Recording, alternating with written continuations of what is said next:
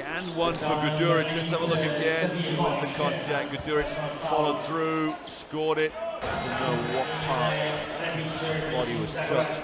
In fact, if anything, Jaramaz's right arm was pushing out. That is dangerous right there. Yaramac goes in, foul, count the bucket. Double figures for Serbia.